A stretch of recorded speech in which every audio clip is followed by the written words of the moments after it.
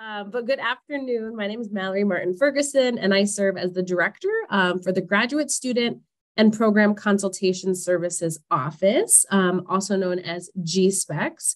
And we are here to kind of present information related to Rackham resources um, and information about emergency funding for you today.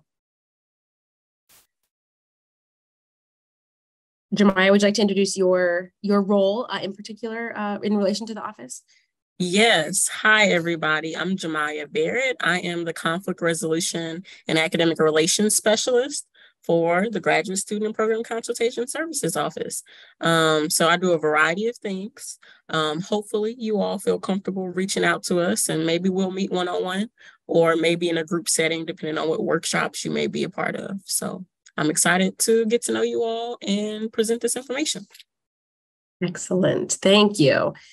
So, to start, we wanted to just get a sense of kind of where people were at in thinking about this type of information that we're offering in this session today, but also your thoughts um, as you approach your first um, kind of year of, of graduate school. Um, so, let me see. Sorry here, folks. Um, get back to my slideshow. Um, I wanted to get my, let me stop sharing for a second. My Zoom poll was kind of not working. So segue, poll questions. I'll do that now without sharing the presentation because it's not necessarily relevant. Um, but we wanted to ask um, in particular kind of what folks were um, thinking about or as they were approaching um, graduate school what are some things that are kind of on your mind and let me see we have a lot of polls loaded in here. So I want to make sure that I get um, the correct information here. Okay.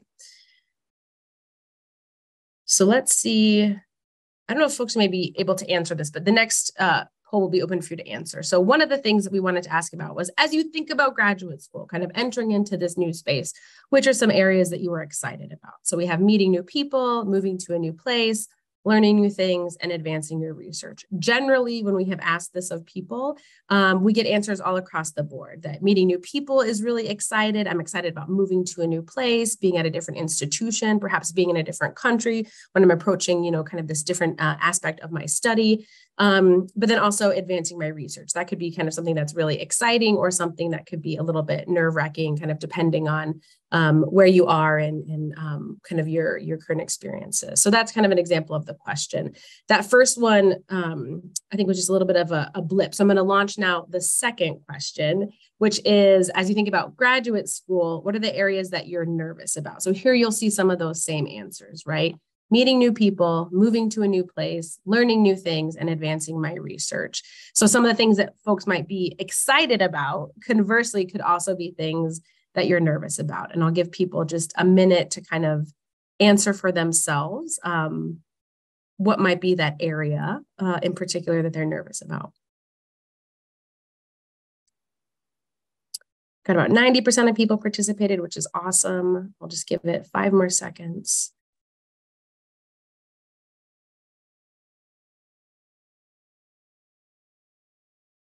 All right, fantastic. So let's see the results. Um, so what people shared, are folks able to see this? Thumbs up or a, emoji reaction or comment. Thank you. I got a thumbs up. Um, so this is what we got from the group. As you think about graduate school, what are the areas you are nervous about?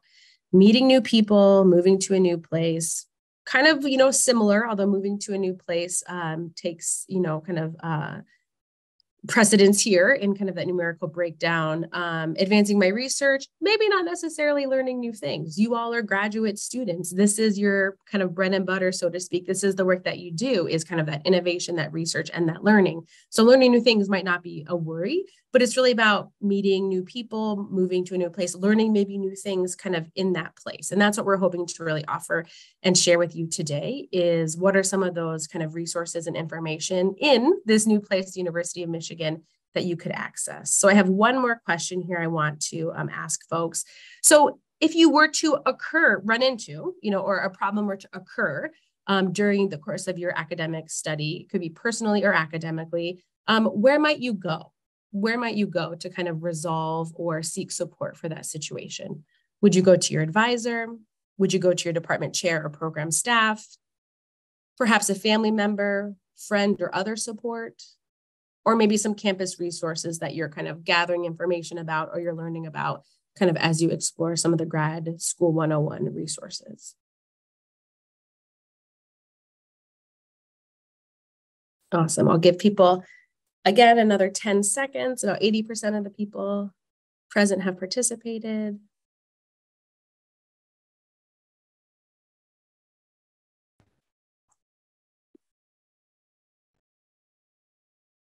Okay, we'll end it there. So here's what the group kind of collectively said is that primarily your advisor might be the person that you initially go to or would go to first if you encountered a problem, whether academic or personal in graduate school. You may also rely on your network of family and friends. That might be a network that you have in Michigan, are developing in Michigan, are relying on, you know, maybe from a distance. Um, campus resources, of course, um, at which Michigan there is, you know, kind of a, a, a litany of resources. It's just maybe finding, you know, the right one for you at that right time. Um, but then maybe also department chair or program staff. So our hope for you today is to really get a sense of all of these areas and entities are places you can go for support and help. Um, this office in particular, the Graduate Student and Program Consultation Services Office, can be that first place to say, I want to talk to my advisor about this, but I'm not sure how. Or here's what's happening for me. Like, what do you think I should do? Or what are some resources that would be kind of the most helpful? Um, because graduate school is exciting it is nerve wracking and it's wonderful that um, you're here to be a part of it. That's why there are some support resources that we have developed um, to assist kind of in your uh, in your work moving forward. So thank you for the patience with the, the polling questions um, and I'll pass it now over to Jemiah. So what does GSPECS? what does our office do? So we do student support, faculty and staff consultations and resolution services, right? But to be a little bit more specific, we provide a neutral and safe environment to talk. We listen to concerns and complaints of students, as well as we refer individuals to appropriate campus resources. We mediate conflicts and we advocate for a fair process. And then lastly, we do advise on university policy and procedure and that kind of goes back into our faculty and staff consultation. So we do service students, but we also do assist programs. So we do a lot of consultation on university policy and our procedures. So how can you contact us? So you can contact us if you have a problem or a conflict involving the university and do not know where to go to resolve it as well as you can feel your concerns are not being heard. So if you're going across different maybe departments or areas and you feel your concerns aren't being heard, you can always come to us, as well as if you need information about policies and procedures that are affecting you. Another situation is if you need help to resolve or mediate a dispute with faculty or administrative staff. And then lastly, if you believe your rights have been violated or you have not been given due process. So, some further examples we wanted to offer related to that, because um, it can be helpful to hear information. Oh, there's this office I can go to. Here's some of the things they can assist with. But having not yet maybe been in graduate school at this level or at Michigan, there might be some context that would be helpful to provide. And so we thought it was important to let you know generally what are some examples that come their way to Jemiah and myself to kind of help um, address. So people mentioned their advisor is maybe being like the point person they would go to if there was an issue or concern. Um, and sometimes the issue or concern may be related to that advisor or a PI in a lab that you're working. Not necessarily negative or harmful, but there just might be some miscommunication. There might be lack of feedback, too much feedback, um, or unclear expectations as you're kind of navigating this new uh, and emerging relationship. That could also be related to mentoring concerns, feeling like you have really great intellectual mentoring, that you have really strong connection to the research, but maybe you have questions about like what to do next for professional development. If you're a master's student what are going to be some of the next steps for me in my career as a phd student approaching you know their defense? What are some things i should be thinking about? What are conferences and areas i should have been you know mindful of attending maybe earlier on in my in my career? So those are all types of different maybe relationship concerns that may come up. Um, academic progress or coursework concerns um, if it ever kind of comes to your attention that maybe there's some milestones or some benchmarks or there's just questions around reaching those milestones, seeking some support in reaching those milestones. Those are um, times that you can reach out not only to your advisor and department, but certainly GSPECs to kind of talk through uh, progress and coursework concerns. Um, lab settings. So we recognize that not all graduate students maybe are in uh, lab settings and that different kind of disciplines um, have different kind of group settings and um, you know even research expectations. Um, but the lab can be a really interesting place one because it's bringing together a lot of different people in kind of a smaller space doing maybe very distinct projects but all working together under kind of one advisor or mentor. And so that can just bring up some different dynamics. As a new person entering the lab or as someone leaves the lab those can all kind of shift and change um, or you may have problems or concerns with safety or protocols. And so those would be things that maybe we could consult and talk about, problem solve a way to enter into the conversation or give you some insight uh, and information around kind of, you know, university and academic policy around some of those concerns. Where can you report a concern? Where can you report a concern anonymously, et cetera? Um, access to and eligibility for emergency funding. We'll talk about this a lot more um, later, but we do consult with students um, who are kind of experiencing maybe financial issues or concerns um, and are in, are in need of some funds. And so we would be able to talk with you about how to access the Rackham Emergency Fund, um, what would be maybe a helpful framing for your application, or if there's kind of a larger need for funding um, that falls outside of the scope of Rackham, how can we help connect you to other university resources in an effort to kind of get some of those needs met um, for you. And then, of course, maybe not lastly, but ever present is just working to help address mental or physical health concerns and our mental health and well being. Graduate school, as I mentioned, is exciting and potentially nerve wracking. And with it can come just some different um, stressors that you're navigating, some different skills that you're wanting to develop in navigating this different environment.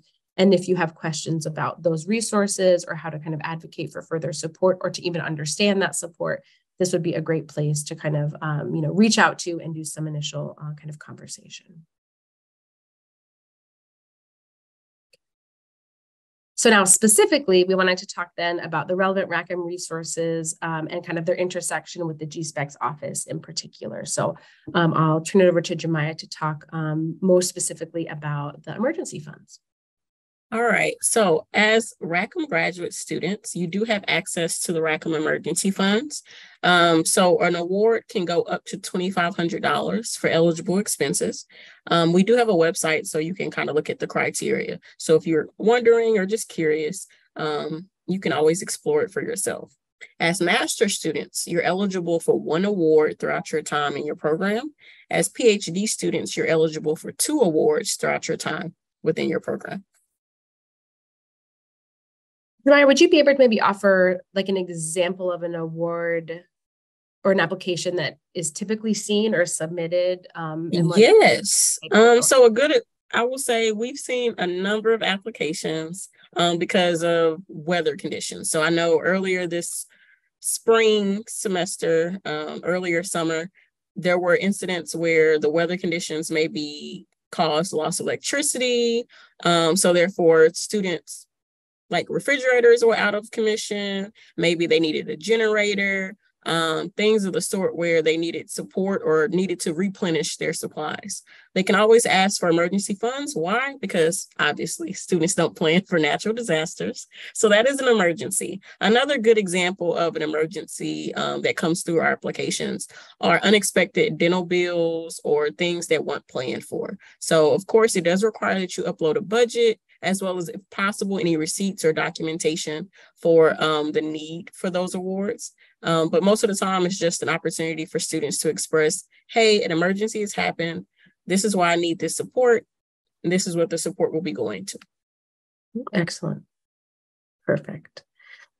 Um, Another area in which we do kind of some direct, um, you know, resource work and problem solving with students um, is related to accommodations for graduate student employees with disabilities, I should say. Um, that is something that is kind of a designated um, duty of our office.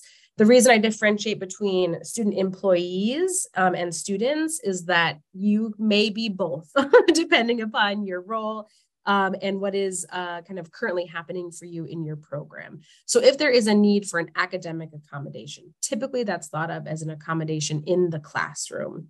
You're entering into the classroom and there's a barrier, right, that needs to kind of be addressed. Um, or there's a timing issue with you know a chronic condition you may have um, anything related to kind of your your classroom work especially initially as a, a, first or second year um, graduate student um, would typically be addressed with SSD, and that is the services, excuse me, for students with disabilities office on campus. I apologize. I've talked way more today than I typically do, and my voice is feeling it. So SSD is a great kind of resource uh, and entity to kind of reach out to in that regard. If as a student, then you find yourself also having an employment term, right, or an employment contract, typically for our graduate student instructors, GSIs or GSSAs, those are things that could be formally um, requested and sought out through Rackham, through this office. There's an online form in which you submit, give information about the condition, the nature of the disability, and the requested accommodations.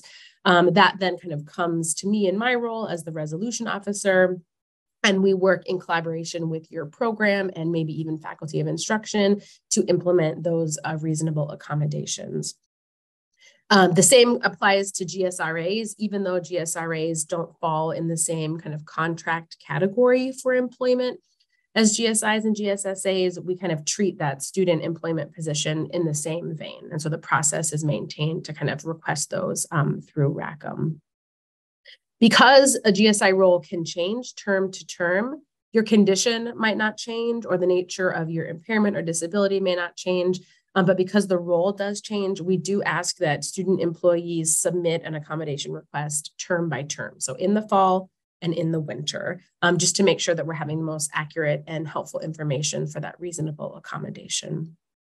More about that can be found on our website, the forms, the information, and then of course you can always consult uh, with Jemiah or myself about that in particular, not only for maybe um, the academic accommodations, you know, liaising with SSD, but also for the employment accommodations. So the two other areas um, of resources that we wanted to make sure that were mentioned today are about leave of absence and then also parental accommodation. Um, so the leave of absence policy, this um, is particularly relevant for PhD students. Um, Rackham does have a continuous enrollment policy. And so, unless you're on a leave of absence, you need to be enrolled in classes. Um, that's not the case for master students. And so, stepping away from study for master students is much more of a departmental and advising conversation. Um, but if you ever find yourself kind of considering that as a master student, you know, please reach out um, either to us or to your program to kind of talk through the implications of that. Um, but for our PhD students, the leave of absence policies um, are related to kind of four different areas a personal leave, a medical leave, family necessity or dependent care leave, and then military service. Um, each of these kind of start out as a term. And then the medical, family necessity, or certainly the military service, you know, can kind of be extended into future terms, depending upon, you know, kind of the need to be away um, from study. There's an online kind of system where students can request a leave of absence. They seek out departmental um, kind of approval and awareness of that leave. And then for the medical leave in particular, um, supplemental medical documentation um, is required just to ensure that there's been a healthcare provider who has kind of signed off and agreed um, that stepping away from study would be recommended for a student. Um, the medical leave of absence carries forward your student health insurance coverage. If you, you know, um, would like to do so, you can decline to have that happen. Um, but generally, while out on a medical leave, having your healthcare coverage is really important. Um, so that's something that kind of carries forward um, that is a little bit unique uh, and different than the personal leaves and the family necessity uh, and military service. The leave of absence is really stepping away from study. So there's no expectation for any academic work during that time. And then when you feel, you know, ready to return or have, you know, gotten your needs met in other ways, um, requesting to return to active study and working with your program for that kind of um, reentry plan. Um, so anytime you have a question about that, want to explore the implications of that, or just thinking like this is good to have in the future if and when things come up, again, please keep that in mind um, to consult or problem solve uh, with us around. And then lastly, um, the parental accommodation policy is something that the GSPECS office kind of oversees. Um, this is not a leave, but it is an accommodation period for reduced academic expectations. So if you find yourself either as a birth parent or partner or an adoptive parent or partner, um, you would be eligible for six to eight weeks um, of that reduced academic expectation. Um, that would need to be, again, a form filled out, submitted to Rackham, signed off on by your program. Um, and for the leaves and also the parental accommodation policy, we ensure that that time is added back to your degree. So it extends your time to degree. And we have kind of a notation system to do that internally. So sometimes students get worried, like, if I have to take this time away, if I step away, I'm gonna, you know, be kind of further um, accelerated on my time to degree. And that's not the case. You get that time back because we recognize that you were away doing other things, right? That you stepped away from those studies or had reduced expectation for study during that time. And again, both parents and partners, um, as kind of Rackham students, would be eligible um, for that parental accommodation kind of policy component. And again, questions, concerns, you can talk to your advisor, department. GSPECS is always here to be a sounding board as well. All right. So, talking about some workshop offerings. So, we have a couple of workshops that we offer and that are available for you all. So we have navigating difficult conversations. So as you're going into your graduate career, you're going to come across a couple of situations where you're going to stump, you're going to be stumped maybe. You're going to be wondering how can I have this really difficult conversation? And we offer this workshop as an opportunity for you to be able to kind of navigate some of those difficult conversations and use some really good suggestions on how to connect.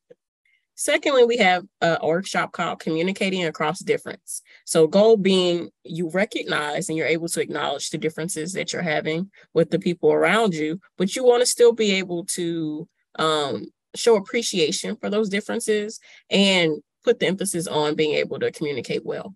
And then we have listening circle conversations. Um, a good example of a listening circle is just an opportunity where staff members from our office will facilitate students being able to have a safe space to communicate with one another, share their concerns, whether it's specific to their program. Um, Michigan, I mean, some of you all might be commuting or um, moving to a whole brand new place, right? Some of you all mentioned it in your poll. So it's good to have peers that you can speak with and people that you can feel comfortable talking with. So our office is willing and has done a number of different facilitations of listening circle conversations. And then we have our virtual office hours. So going into our fall semester, we offer virtual office hours on Mondays and Wednesdays through the term. So normally they're about an hour long. Um, you can always sign up to meet with us individually, get on our calendars. But if it's last minute and you're like, hey, I need to talk to someone, you can always stop by our virtual office hours and you can find the link and times on the weekly Rackham student newsletter.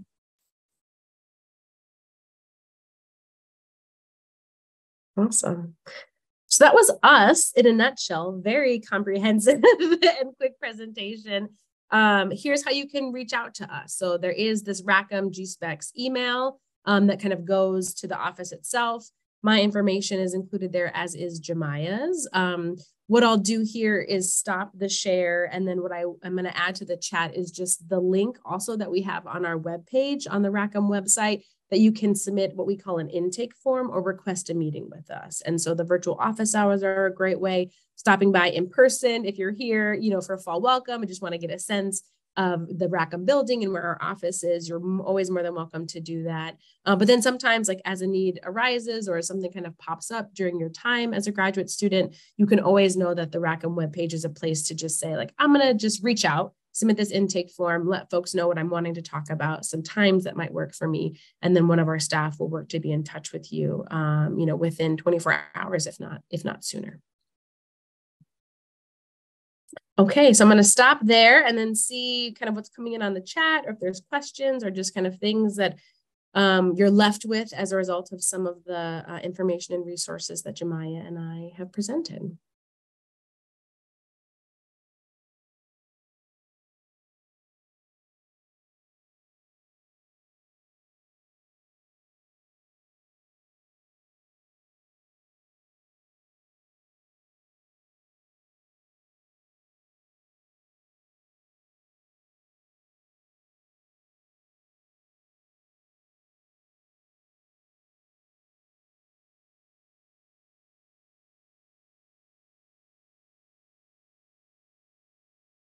Okay, nothing in the chat. The group is still pondering. Actually, I think there is.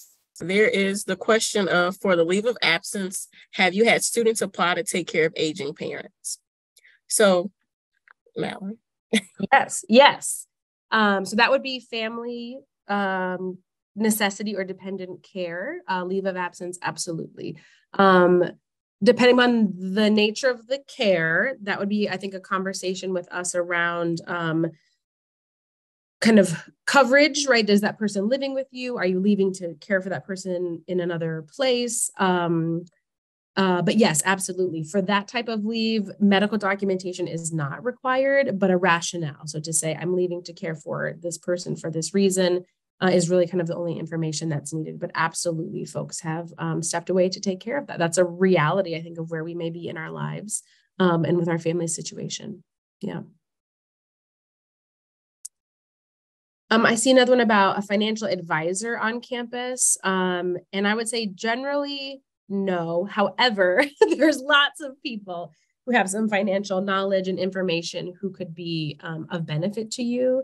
When it comes to Rackham, there's the Rackham Finance and Fellowships team. So if there's questions related to kind of uh, any funding that you're receiving directly from Rackham, um, a fellowship term, or just general like scholarship and fellowship opportunities, um, that would be kind of a great uh, a great resource. The Office of Financial Aid has kind of um, you know financial counselors available to talk through the aid and loan process for students. Um, Jemiah and I can be kind of a good first start to kind of talk through what is the financial concern or issue. Um, and then there's this great resource on campus um, called the Center for Education of Women, CEW Plus. They work with many more than just um, you know female identified students. That's where the plus uh, kind of comes in. But they do offer some financial counseling and financial wellness workshops of one of which I think Jemiah is uh, kind of collaborating on to do a presentation in the fall. And so those are some few resources that would kind of work to maybe address um, some financial questions, but there's not kind of a, a role necessarily of a financial advisor, maybe in the way that um, you're thinking about. Okay, perfect. Um, And there's a question about the Rackham newsletter, and I'm going to attempt to answer this question, but Paul, Kylie, and Danielle, I'll defer to you. Um, that's something that I think upon your arrival and matriculation, you are automatically signed up for. It comes out every Friday, and it will have information about kind of news from Rackham students, things to look forward to as far as events, and then information about ongoing scholarship and fellowship opportunities. So I don't think that there's any action that you need to do for that um, but it is something that you can um, have a look out for um, on Fridays um, when the term begins. Yeah, just to add to that, the newsletter, you're automatically loaded into that, and you will start getting updates in August. So you might miss a couple right now. I just had a conversation with the communications team about it. So they don't typically start the cycle for new students uh, until the second week of August. So sit tight, it will be there.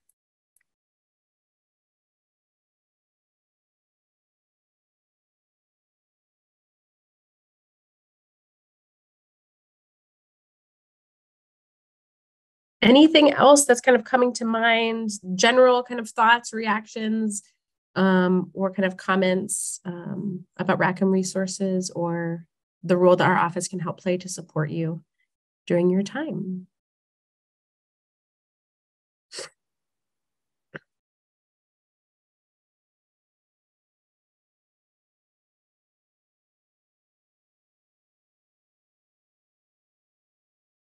Okay, perfect. Um, so there was a question about um, PhD stipend taxes. Um, I'll have to ask that question. I don't have it on the top of my head.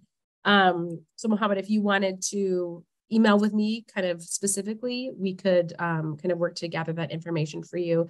And then there was another question about any healthcare related disputes um, that may arise with the healthcare provider. I would say it might depend upon the nature of the dispute. Um, but there is the benefits office um, at the university, right, that helps oversee kind of the GradCare coordination and benefits itself. And then there's also UHS, our University Health Service Office, which is where the majority of students uh, maybe get some of their care or where you can access some services based on the health fee that you pay. Um, they both have staff who can serve as primary contacts if there's insurance questions um, or kind of concerns or disputes related to um, maybe a healthcare need or a resulting bill or explanation of benefits, uh, et cetera.